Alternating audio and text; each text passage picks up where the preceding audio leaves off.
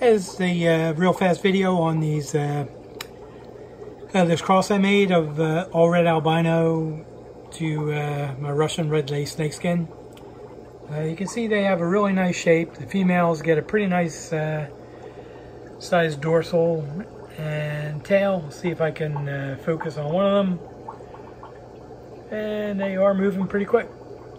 But there's one. You can see that dorsal is pretty nice size. The tail, if she stays in the picture, is pretty nice size. And she's got a nice uh, solid shape to her. So the males are pretty promising too. Uh, most of them have the uh, snakeskin pattern on half the body there. And uh, let's see, the tail edge is, uh, caudal edge is a little crappy. Uh, I don't know if it's because they managed to bite each other at different times or or what, but this is uh, very promising. Uh, I, who knows what I'll even call them, but uh, really happy with this cross. It really took well. And now I just have to wait for uh, some babies out of them. So I moved them into a new tank and uh, have some of the fine leaf water sprite in there just to uh, provide some cover for whatever babies I end up getting.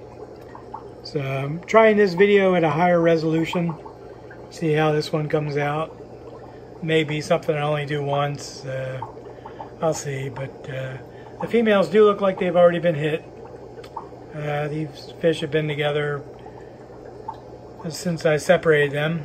So got a couple different little uh, color patterns in the uh, females. I really like this one with the uh, more pronounced red and a darker color, who knows what it is, brown, black, I don't know.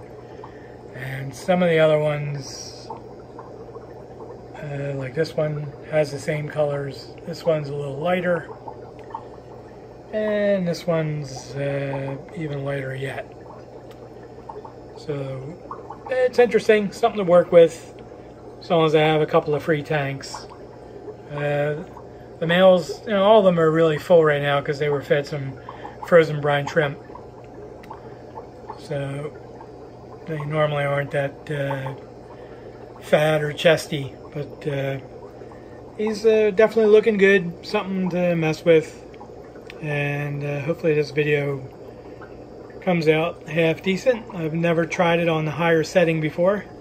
So you can see some high resolution uh, dirt and poop right there. That's got to be a highlight for everybody. And uh, yeah, hopefully we'll see a bunch of babies in this tank one of these days.